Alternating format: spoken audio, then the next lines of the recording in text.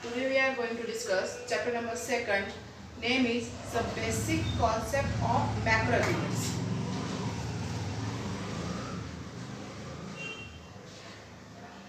So basic concept of macro economics.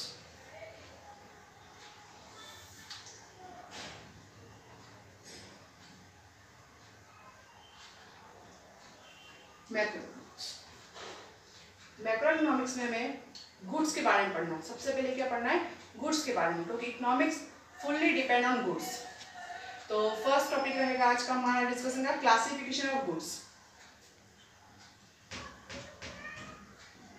classification of goods those are several goods मेरी goods बहुत सारे goods है। है। गुड्स इज़ वस्तु है वस्तु बहुत सारी, कितनी सारी चीज़ें होती कि सपोज़ आप स्कूल आप स्टूडेंट हैं स्कूल गोइंग स्टूडेंट्स हैं आप तो आप लोगों को स्कूल ड्रेस है स्कूल के शूज़ हैं, आपकी बुक्स है स्टेशनरी है सपोज़ कोई हाउस होल्ड पर्सन है, जो हमारे घर के सामान होते हैं तो घर के सामान हमारे ग्रोसरीज हैं, घर में सामान होता है कोई ऑफ़िस है वहाँ फर्नीचर्स की रिक्वायरमेंट है कोई ट्रांसपोर्टेशन वाले हैं तो वहाँ व्हीकल्स की रिक्वायरमेंट होती है तो अलग अलग टाइप्स की गुड्स होती हैं। तो ये जो गुड्स होती हैं, ये गुड्स के क्लासिफिकेशन किए होते हैं। तो क्लासिफिकेशन को बेसिकली टू में डिफाइन किया हुआ है। तो टू के डिफाइन इस तरह से होंगे।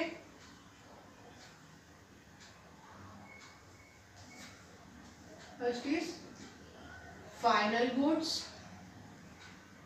and intermediate goods and second is consumption goods and capital goods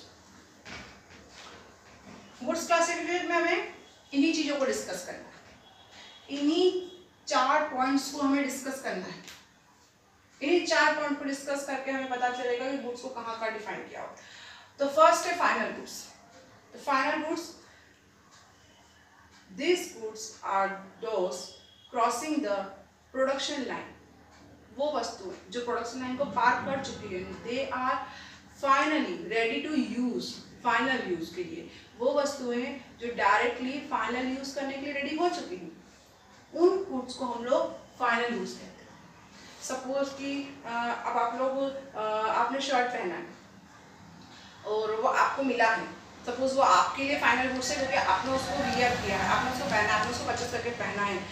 लेकिन, वो जो फाइनल गुड्स है वो आपके लिए फाइनल गुड्स है लेकिन जिस शॉप से आपने उसको परचेस किया है, जिस दुकान से आपने उसको खरीदा है, क्या वो उसके लिए फाइनल गुड्स है नो उसके लिए फाइनल गुड्स नहीं होगा, क्योंकि उसने क्या करा है उसको? वो आपको रीसेल कर रहा है। मतलब वो और प्रॉफिट कमा रहा है। सपोज़ कि वो शर्ट आपको फाइव हंड्रेड रुपीज़ में मिला है। आप रिटेलर हैं। तो आपको फाइव हंड्रेड में दिया है उसने, दुकान वाले ने शॉपकीपर ने। तो बिफोर उसने तो शायद फोर हंड्रेड में लिया होगा या थ्री फिफ्टी में लिया होगा या फोर फिफ्टी में लिया होगा। आई होप उसने फोर हंड्रेड में लिया होगा। तो हंड्रेड रुपीज़ ये उसका इनकम है। है ना? तो ये उसने लिया है। तो ये फाइनल गुड्स उसके लिए नहीं हुआ। ये फाइनल गुड्स आपके लिए है, क्योंकि तो आपने उसको फाइनली यूज़ किया है। उसने उस शर्ट को यूज़ नहीं किया है। फाइनल गुड्स में आपको ये ध्यान रखनी है तो फाइनल गुड्स कंज्यूमर के लिए अलग चीज़ है और प्रोड्यूसर के लिए अलग है। तो वो उस पर डिपेंड करता है कौन सी गुड्स फाइनल है, कौन सी गुड्स फाइनल नहीं है। वो डिपेंड करता है उसके यूज़ पर कि को उस गुड्स को कौन यूज़ कर रहा है, कैसे यूज़ कर रहा है, उसका अल्टीमेटली एंड ऑफ़ यूज़ क्या है।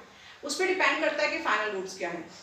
अब फाइनल गुड्स के लिए कंज्यूमर एक्सपेंडिचर की अगर हम बात करें गुड्स है तो उसके एक्सपेंडिचर होंगे, है ना? गुड्स के एक्सपेंडिचर की बात करें।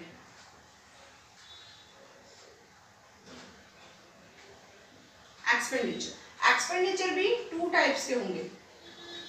कंज्यूमर एक्सपेंडिचर डिफरेंट होंगे and produce circuit expenditure different होंगे। सेम थिंग कोई फाइनल गुड्स है। अगर उसको कंज्यूमर ने परचेस किया। तो वो कंज्यूमर के एक्सपेंडिचर में आ जाए। जैसे हाउस होल्ड पर्सन है कोई कोई हाउस होल्ड पर्सन ने किसी गुड्स को परचेस किया है तो फाइनली उसको यूज़ करने वाला है।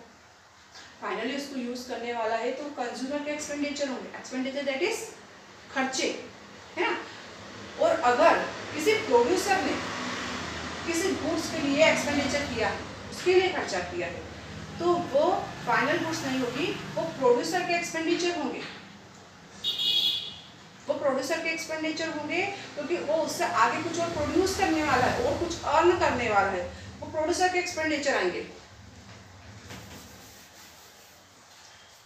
Second is intermediate goods intermediate goods वो गुड्स होती है जो फाइनल नहीं होती है, या फाइनली यूज़ के लिए रेडी नहीं होती it is not to ready the final use it is not to ready to final use finally use के लिए रेडी नहीं है वो.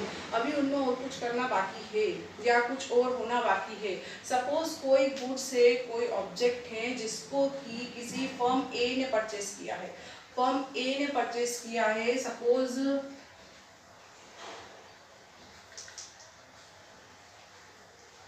सपोज़ फर्म ए ने परचेज की है बाइसिकल बाइसिकल को उसने परचेस किया है बाइसिकल को उसने परचेज किया है, वो होलसेलर अब होलसेलर ने उसको डिलीवर किसको करा है? रिटेलर को। रिटेलर को डिलीवर करा है और रिटेलर उसको किसको देगा?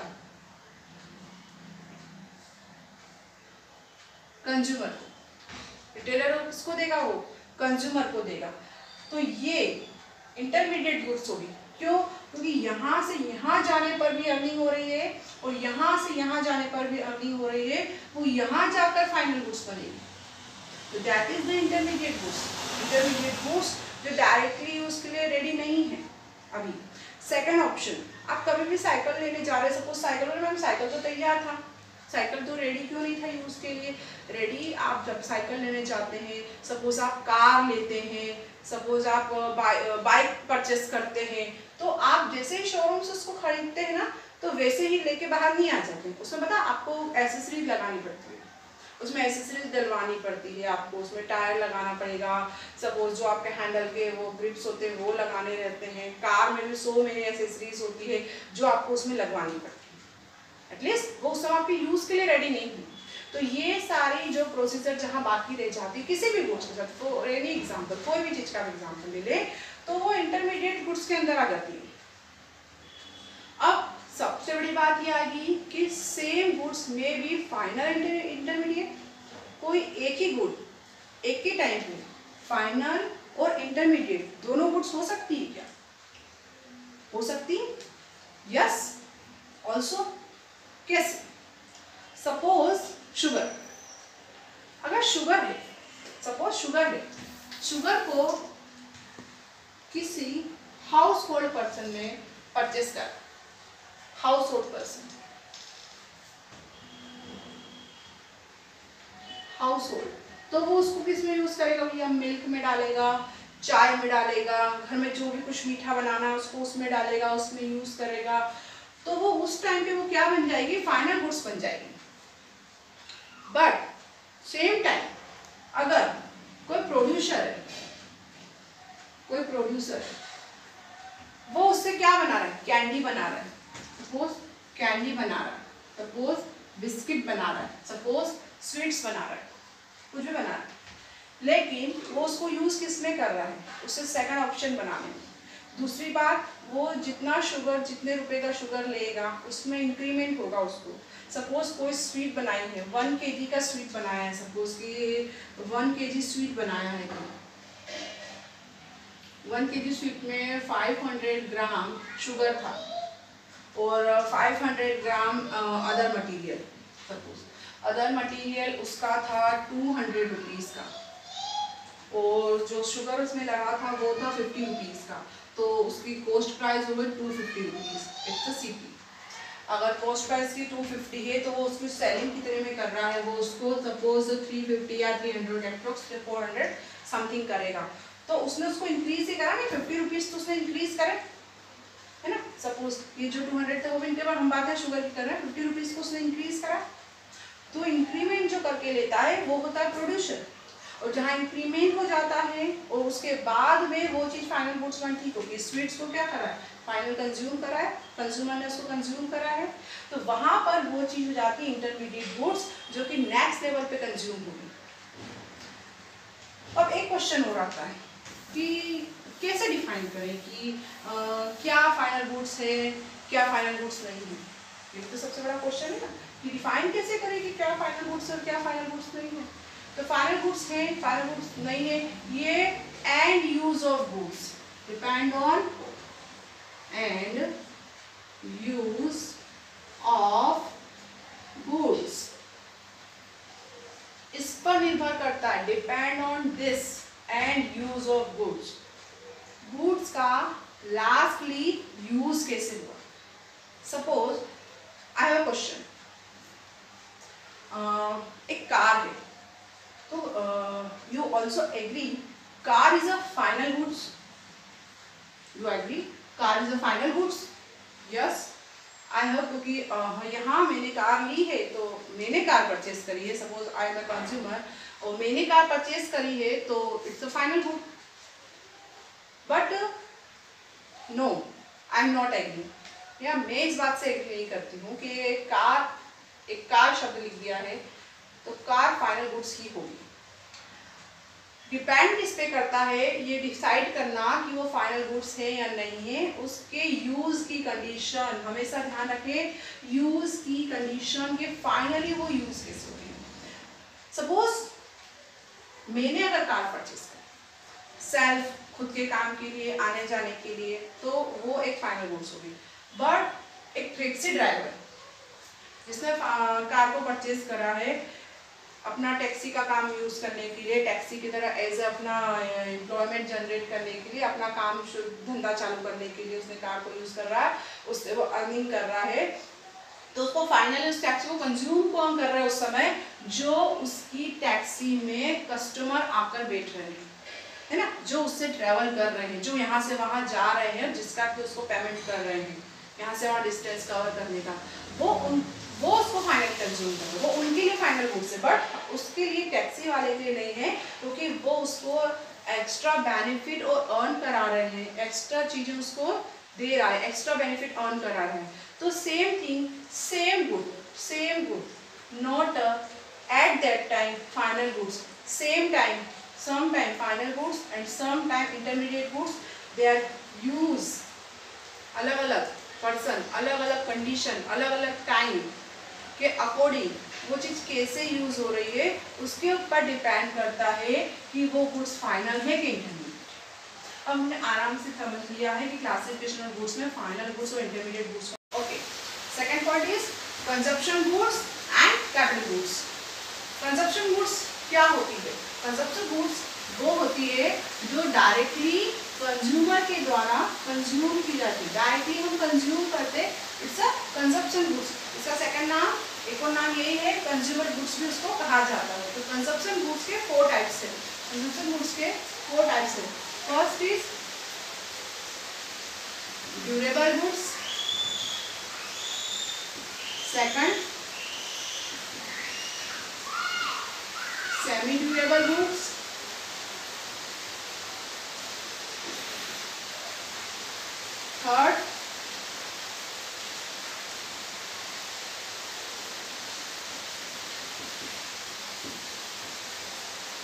Durable goods.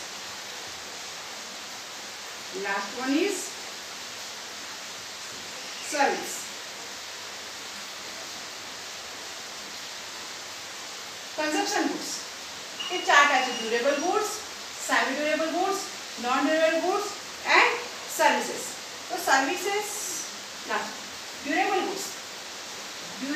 Durable goods में वो गुड्स आती हैं या उन चीज़ों को इंक्लूड किया जाता है जो लॉन्ग टर्म तक हमें सर्विस देती है। लॉन्ग टर्म तक हम उनको यूज़ कर सकते हैं।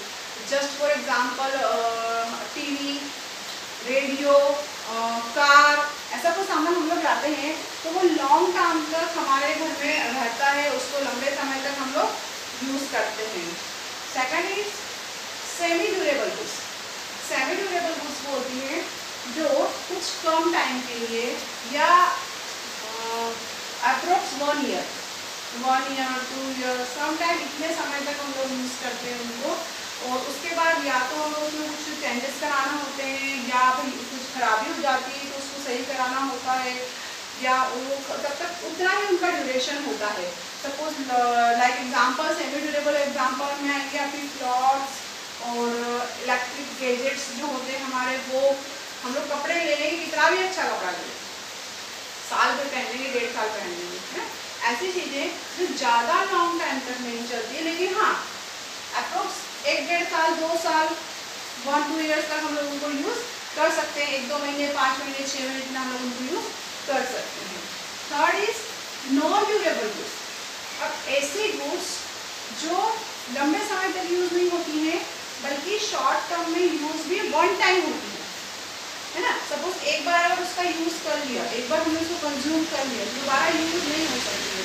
जैसे इंक ये मेरा पेन है वहाँ का इसमें फिल करिए एक बार जितना मैंने इंक फिल कर लिया है तो वो यहाँ यूज़ हो जाएगा देन आफ्टर फिर वो दोबारा पेन में दूसरा इंक फिल करना पड़ेगा। अपना एलपीजी का गैस का सिलेंडर एक बार सिलेंडर आता है, हम उसको यूज़ कर लेते हैं, ख़त्म होने के बाद दोबारा नया सिलेंडर हमको रिफिल करवाना पड़ता है। लेकिन ये नॉन ड्यूरेबल है। मतलब इसकी स्थिरता ज़्यादा नहीं है, लंबे समय तक टिकाऊ नहीं रहता ड्यूरेबल नीति आप समझते ना कि ड्यूरेबल मतलब क्या? जो लंबे समय तक टिका रहे, लंबे समय तक साथ दे हमारा।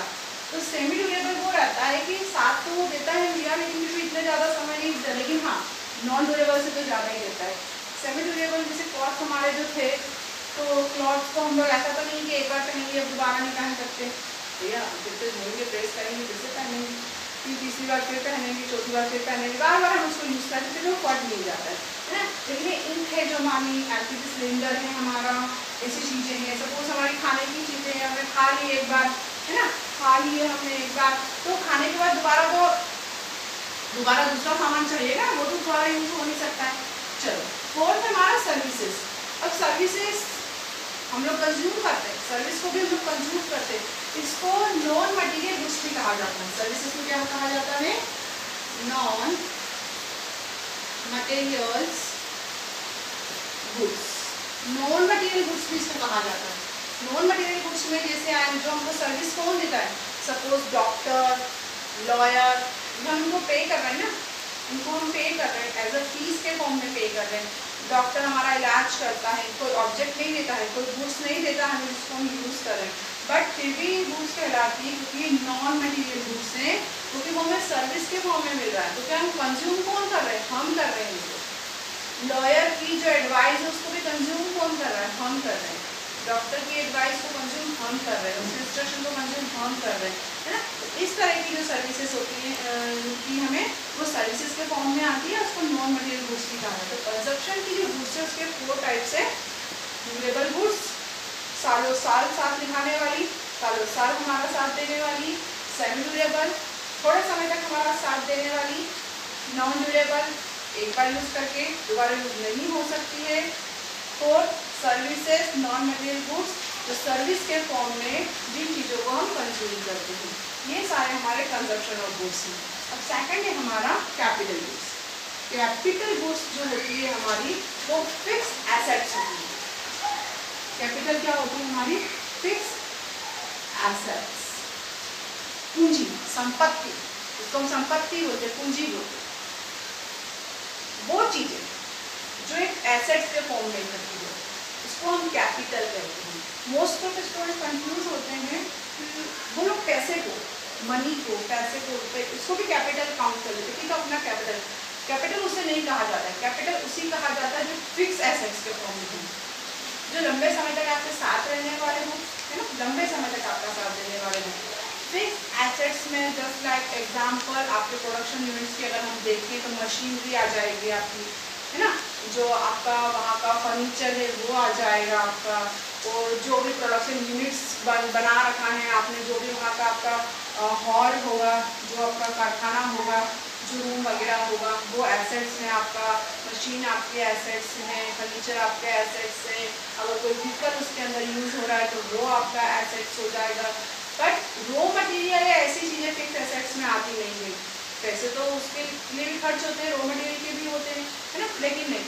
फिक्स एसेट्स जो लंबे समय तक एक बार मशीनरी लगी है तो बार बार उसमें प्रोडक्शन हो सकता है। सपोज़ आप कैंडल का कारखाना है, आपका कैंडल बनाने का कारखाना है तो उसका रो मटेरियल जो वैक्स होता है, वो बार बार लाना पड़ता है।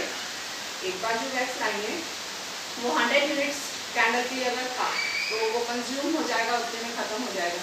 लेकिन अभी जिस मशीन में कैंडल बनी हुई वो मशीन ऐसा तो नहीं कि हंड्रेड कैंडल बनाने के बाद में आगे कैंडल ही बनाएँगे या दूसरी मशीन लानी पड़ेगी। ऐसा नहीं होता। है वो मशीन तो वही रहेगी रो मशीन हमें दूसरा लाना पड़ेगा। तो वो होता है फिक्स एसेट्स हमारा। इस तरह की चीज़ें फिक्स एसेट्स होती है। लेकिन फिक्स एसेट्स जो होती है कैपिटल गुड्स जो होती है ना, उसके साथ एक पॉइंट जुड़ा होता है। इसमें क्या होता है? डेप्रिशिएशन होता है। डेप्रिशिएशन ये होता है कि वो चीज़ धीमे धीमे समय के साथ उनकी कीमत, उनकी वैल्यू कम होती जाती है।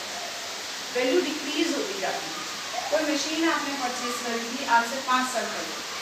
सपोज़ आपका कैंडल बनाने का ही कारखाना है और आपने कैंडल की मशीन ली आपकी वो मशीन अप्रोक्स फोर्टी थाउज़ेंड की आई थी, चालीस हज़ार रुपये की मशीन एट द टाइम आज अगर हम उसको रीसेल करना चाहेंगे तो वो चालीस हज़ार में नहीं जाएगी। उसका वैल्यू समपोज ट्वेंटी थाउज़ेंड हो जाएगा। फोर्टी थाउज़ेंड से ट्वेंटी थाउज़ेंड हो जाएगा।